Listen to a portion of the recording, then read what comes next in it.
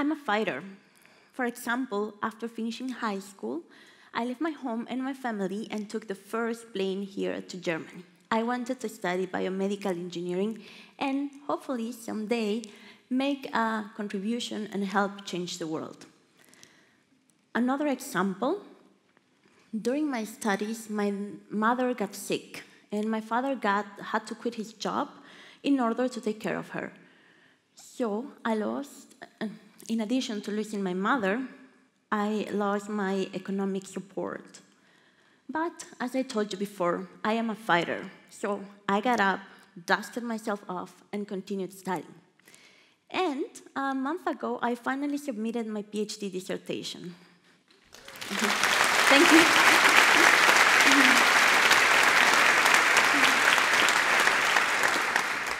Nonetheless, I'm lucky because I'm healthy.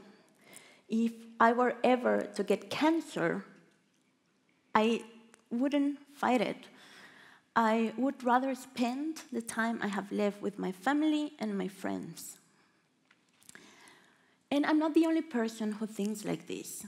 I know a friend of mine who was diagnosed with prostate cancer a couple of months ago, and he decided that he's going to wait until the pain is so unbearable before going back to the doctor or getting any kind of treatment.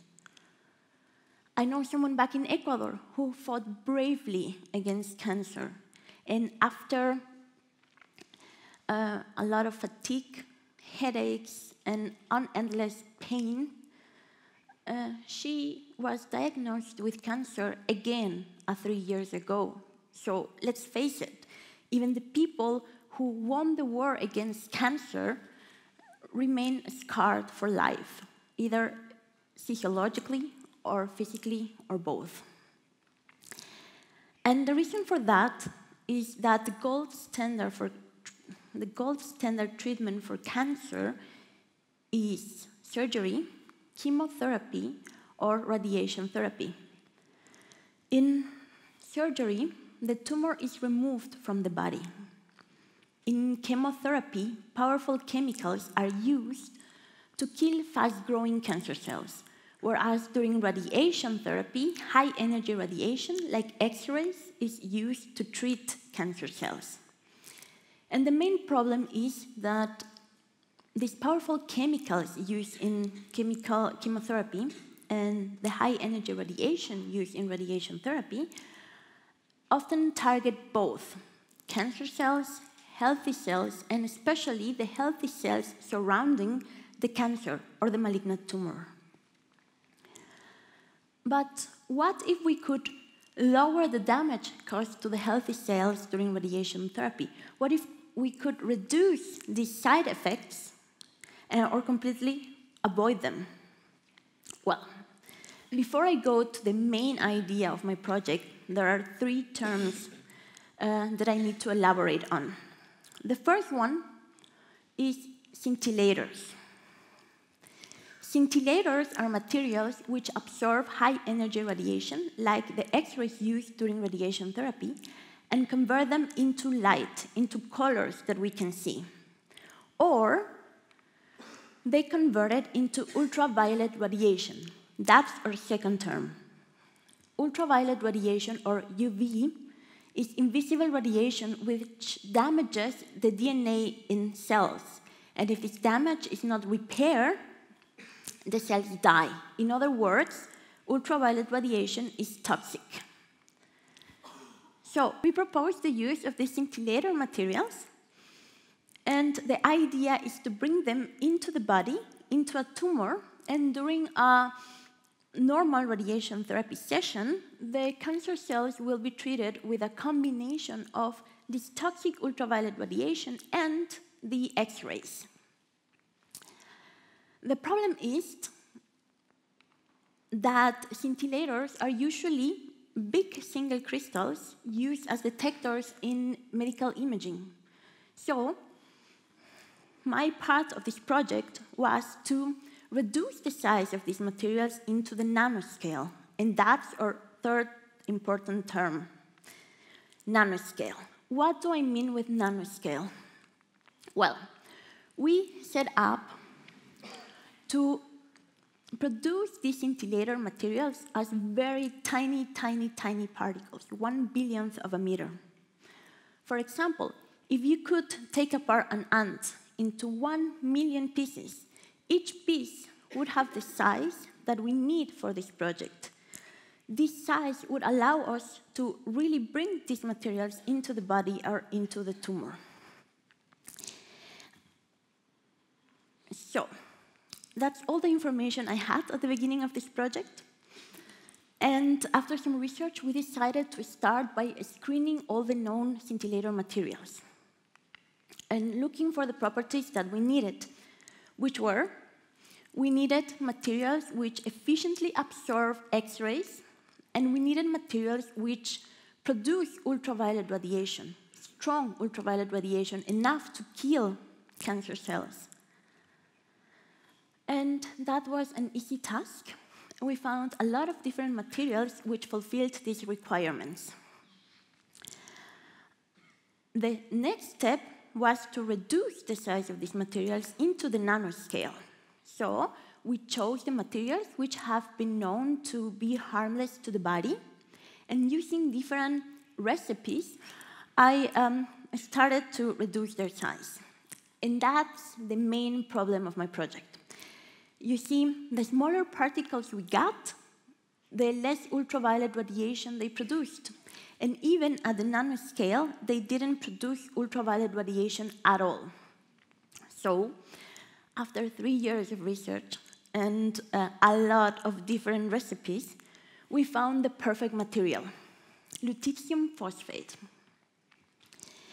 And lutetium phosphate is a high-density material which absorbs X-rays. It, uh, it acts as a funnel which absorbs all the incoming X-rays used during radiation therapy, for example, and convert them into energy.